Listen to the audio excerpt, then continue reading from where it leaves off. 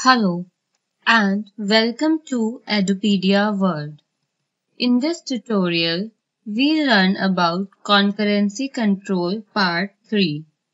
So in part 3 of concurrency control, we'll study deadlock, deadlock prevention and starvation and fairness. So let's begin. Deadlock. Although we have already studied the gist of deadlock in while studying the threads in Java. But over here we see this topic in detail. So let's begin.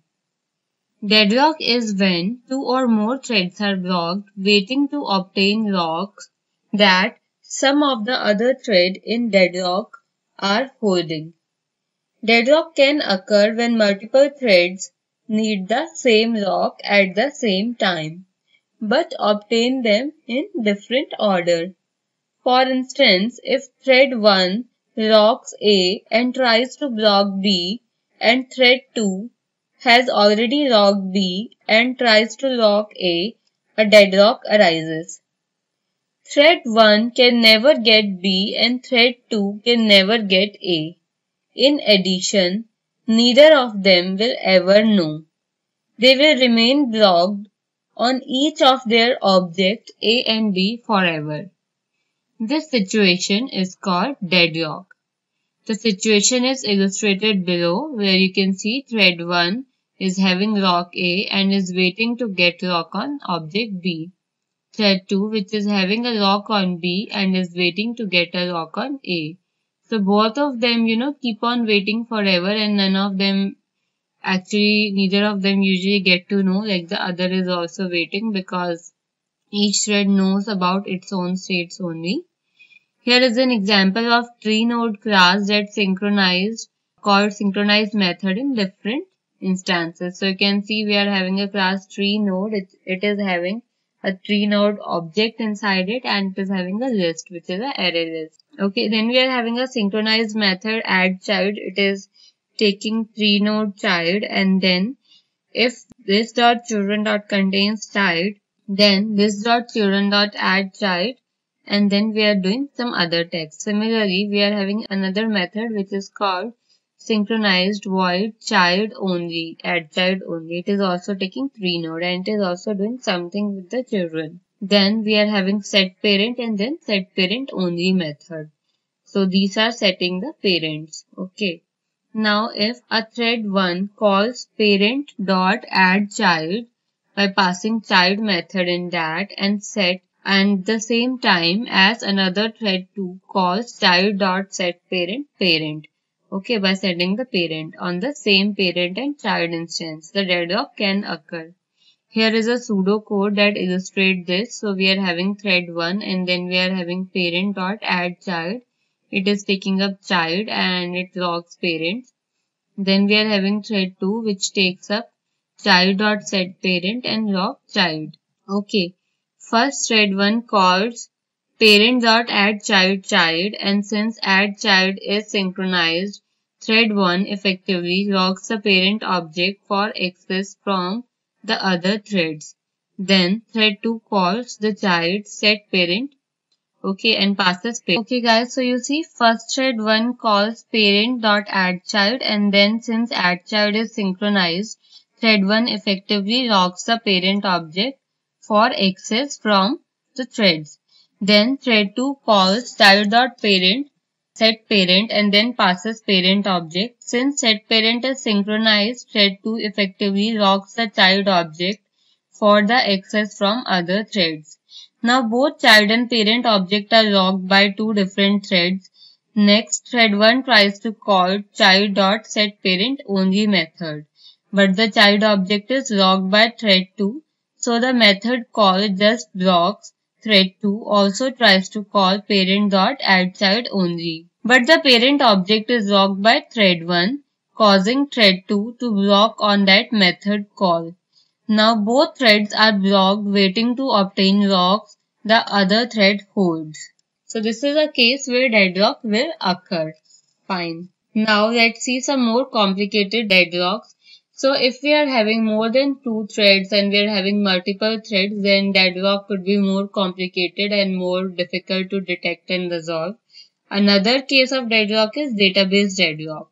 So it is a more complicated situation in which deadlock can occur in database transaction. A database transaction may consist of SQL update request when a record is updated during the transaction, that record is logged for updates from other transaction until the first transaction completes. Each update request within a same transaction may therefore log some record in the database. If multiple transactions are running at the same time that need to be updated at the same record, there is a risk of them for ending up in a deadlock. So you can see here is an example we are having a transaction 1 and then request 1. It locks the record 1 for update and then we are having transaction 2 and its request 1. Again it locks for record 2 for update. Fine. After that transaction 1 asks for request 2 where it tries to log the record for the update and again transaction 2 also fire request 2 where it tries to log the record 1. So you can see both of them actually wanted the object which the other thread is having the lock on. So in this case, the deadlock will occur in a database. So since database is like really crucial and it contains all the atomic operation, so we should, you know, take special care that each and every transaction should be atomic and it should be completed their end. Whenever a code enters a critical section, we need to make sure that no other thread is able to execute it. Fine, so this is something we need to keep in mind. Okay, so just take care of these things while accessing the database. Uh, that deadlock should not occur. Okay. Since the locks are taken in different requests, not all locks need to be given to transaction are known ahead of time. It's really hard to detect or prevent deadlock in database transactions. Now, how to prevent deadlock? In some situation, it is possible to prevent deadlock. And over here, we are going to study about the three techniques of preventing deadlock. Then the first technique that we are going to study is lock ordering. Another one is lock timeout. And the third one is deadlock detection. So let's see each of them one by one and see how can you prevent deadlock using them. So first technique is lock ordering. Deadlock occurs when multiple threads need the same lock but obtain them in different order. If you make sure that all locks are always taken in the same order by any thread, deadlock can't occur. Look at this example. So in this example, you must be seeing that we are having thread 1 and in thread 1 uh, it's having a lock on A and B. Thread 2 is waiting for A and having a lock on C. Okay when A is locked. So now it's waiting for A but A is already locked. Then we are having thread 3 which is waiting for A, B and C. So you see if a thread like thread 3 needed several lock, it must take them in the decided order. It cannot take a lock later in a sequence until it has obtained the earlier lock. For instance, neither thread 2 or thread 3 can lock C until they have logged A first. So you see, since thread 2 wanted to have a lock on A, so it should not lock C before. It should first wait for the A object and when it's obtained the lock on object A, then only it should able to get the lock on C. Why? So because otherwise it will keep on holding a lock on C and do nothing and keep on waiting for A. It might be possible that in meanwhile some other thread needed a lock on C. So it could lead to deadlock. So we should, you know, uh, take care of the locking order. So it's a, like a very nice technique to prevent deadlock to always make sure that the order in which you are locking on an object should be accurate not to give any deadlock situation. The lock ordering is simple yet effective deadlock prevention mechanism. However, it can only be used if you know about all the locks needed ahead of taking any lock. So whenever you are sure that my this thread actually needs a lock on this object when you're aware of the things that you are doing in that case it is very effective but you know if you don't know that which uh, of the object need to be locked by which thread if it's something like whichever logs or whichever thread finishes first, it can take up a log. If this is a scenario, then you are not actually sure in which order you need to put a log, then you cannot apply this technique in that scenario. Okay, so another important technique is lock timeout. Okay. Another deadlock prevention mechanism is to put a timeout on lock attempts, meaning a thread trying to obtain a lock will only try for so long before giving up. If a thread does not succeed in taking all necessary locks within a given timeout, it will back up. Free all the locks taken, wait for random amount of time and then retry. Okay. The random amount of time waited serves to given other threads trying to take the same lock as the chances to take all locks. Thus let the application continue running without locking. Here is an example of two threads trying to take the same two locks in different order where the threads back up and retry. So just look at this where we are having thread 1, it takes a lock on lock A and then we are having thread 2, it is taking a lock on B. Then thread 1 attempts to lock B but it is blocked. Again thread 2 also try to attempt to have a lock on A but it is again blocked. Now thread 1's lock attempt on B times out. So the case is like to put a timeout. Whenever you get a deadlock situation, just put a timeout. So whenever you know B is blocked, it will keep on waiting till a particular time. So whenever that time's up, you know, the thread 1 backs up and release A as well. So whatever lock it is already holding, it will release that lock as well. Then A will, you know, wait randomly before retrying. So let's say our random time is 250 milliseconds or 257 milliseconds. So it will keep on waiting for that time before retrying and once that wait time is over, it can again try to attempt to gain the locks on A and B. Okay, in the meanwhile, thread 2 also you know it was locking the object A but it is blocked now. So it is again you know wait for specific time and once that time is over it will release all its lock. So it will release the lock of A and B as well. And then again it waits for random times of seconds. So let's say it is waiting for 43 milliseconds before retrying. So this is a case of lock timeout. In the above example, thread 2 will retry taking the lock about 200 milliseconds before thread 1. Why so? Because the time gap we have given of 1 is 257 and for other is 43. Fine. And the thread 1 will then wait already trying to take a lock A when thread 2 finishes, thread 1 will be able to take both the locks because since we have given the time duration for the wait for thread 2 is very less, then thread 2 will be able to complete its work while thread 1 is waiting and once that thread 1 wait is over, both the locks will be available to it. Fine. An issue is to keep in mind is just because the lock time out, it does not necessarily mean that thread has deadlocked. It could just mean that thread is holding a lock cause other thread to time out and takes a long time to complete a task. So you should actually know like you know if a thread is already waiting for a lock then how much the time should it be. It should not be the case uh, like if a thread is waiting for other thread to release a lock and if it's not getting a lock then there could be a critical case it actually needs to wait in that case make sure you don't put a timeout condition uh, but if it's not necessary if it's not a atomic process, then yeah, timeout is a really effective technique. Fine. So let's move forward.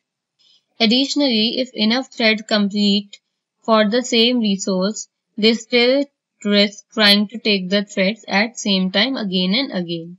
Even if timing out on backing up. This may occur with two threads each waiting between 0 and 500 milliseconds before retrying but with 10 to 20 threads in the situation is different then the likeliness of two threads waiting the same time before retrying is a lot higher. Okay. The problem with the lock timeout mechanism is that it is not possible to set timeout for entering the synchronized block in Java. You will have to create a custom lock class or use one of a Java 5 concurrency construct in java.util.concurrency package Writing custom lock isn't difficult, but it's outside the scope of this text. Okay, so as of now, we are not covering it, but maybe later in some other tutorial. Okay, later text in Java concurrency trail will cover custom logs.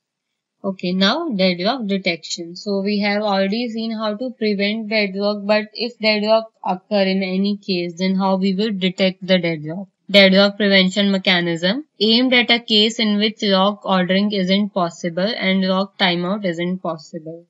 So wherever you are not able to maintain a lock ordering or lock timeout is also not possible. In that case, the third technique to follow is deadlock detection. Because in this case, there is a high likelihood that deadlock will occur and you should detect it.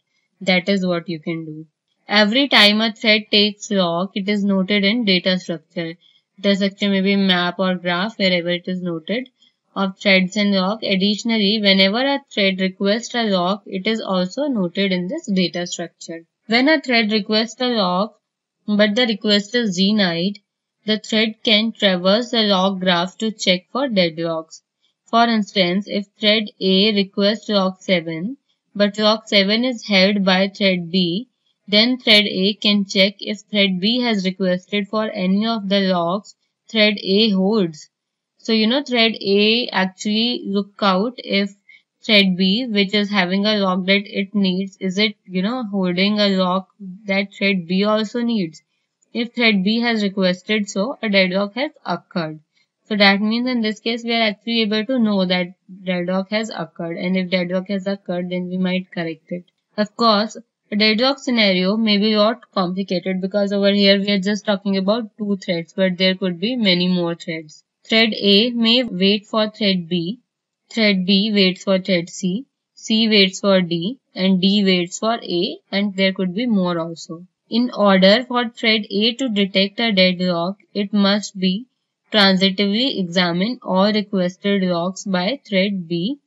From thread B requested locks, thread A will get to thread C and then to thread D from which it will find one more lock that thread A itself is holding and then it will get to know that deadlock has occurred. So we'll see a graph how this can be stored in a data structure. So you see over here we are having a lock 1 and thread A is having that. Then it needed a lock 2 which thread B is having. Then B needed a lock on thread 3 which uh, thread C is having. Then uh, thread C is having or needing a lock on lock 4 which thread D is having. And now uh, D is needing a lock of lock 1 and that thread 1 is having. So the darker lines indicate taken by and dotted line indicated requested by. Fine. So this is a case of a typical deadlock scenario. Now let's say deadlock is detected. Now what should we do? One possible action is to release all the locks, back up, wait a random amount of time and then retry.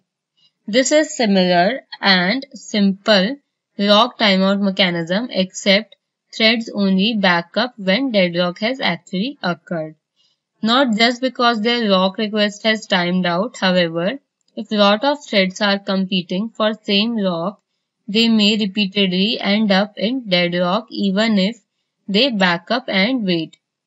Better option is to determine to assign a priority of thread so that only one thread backs up and rest of the thread continue taking the lock they needed as if no deadlock has occurred. If priority assigned to thread is fixed, the same thread will always be given higher priority. To avoid this, you may assign a priority randomly whenever deadlock is detected. So you see one is to, you know, release all the lock and take a backup. Other is to release only those locks where deadlock has occurred. And third one, you can reassign a priority to choose a new order. Now that was about deadlock and deadlock prevention technique. And now we'll study about starvation and fairness. So, if a thread is not granted CPU time because other thread grab it all, it is called starvation. The thread is starved to death because other threads are allowed the CPU time instead of it.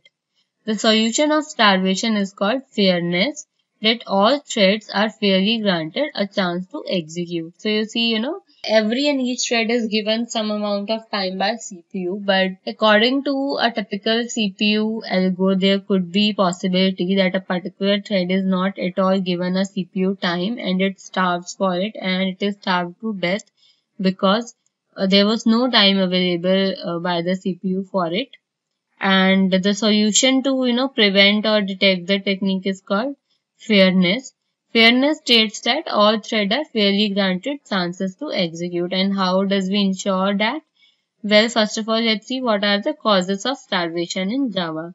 The following three common causes can lead to starvation of threads in Java.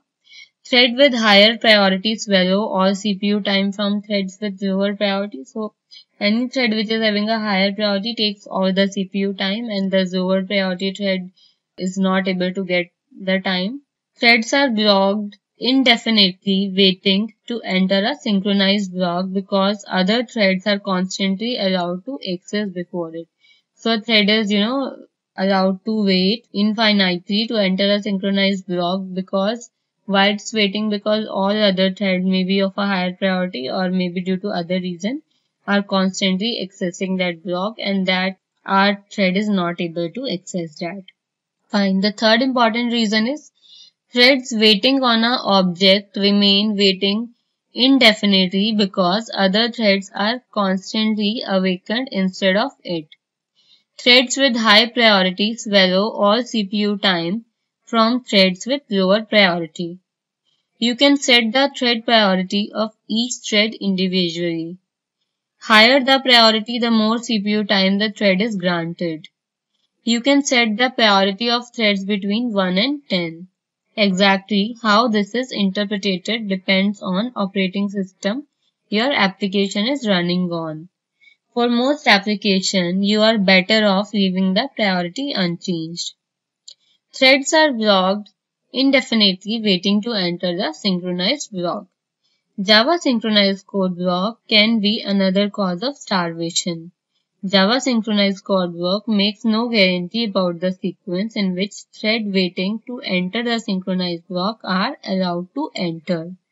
This means that there is theoretical risk that a thread remains blocked forever trying to enter the block because other threads are constantly granted access before it. This problem is called starvation that a thread is starved to death by because other threads are allowed the CPU time instead of it. Fine. Another reason we have seen is thread waiting on an object called wait on it and remain waiting indefinitely. So if you call wait, what happens is that thread which is, you know, on which you have called is given a chance and the inside a thread wherever you have called it keep on waiting. So now if it's waiting and the other thread does not notify it and it keeps on running, then the currently executing thread which called wait will never get a chance and it will keep on waiting infinitely. Fine. So this is another case where starvation would occur. Now implementing fairness in Java. While it is not possible to implement 100% fairness in Java, we can still implement our synchronization construct to increase fairness between threads and how we can do that. Let's first study simple synchronized code block. So we have already seen a simple uh, synchronized code block. So this is how we do. We create a class and then we can do synchronization by two means. One is synchronizing a method, other is synchronizing a block. So this is an example of synchronizing a method where we are using synchronized keyword with the method to make this method as synchronized. We can also make block synchronized that is instead of writing the synchronized keyword over here let's write some code and then write a synchronized block inside and then write the important code which we want to synchronize there on okay?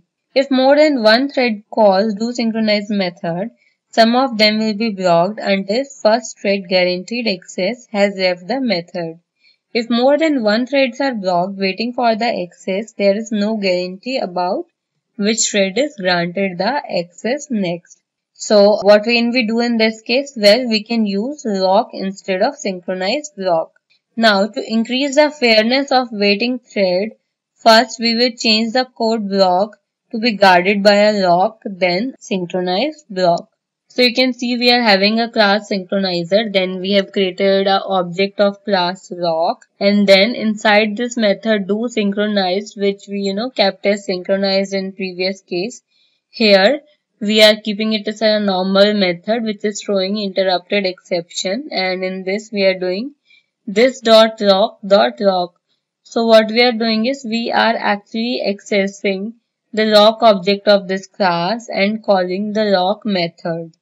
So whatever code we have to write that is our critical section and do lot of work which you know takes time and is critical. We'll do that. We write that kind of code.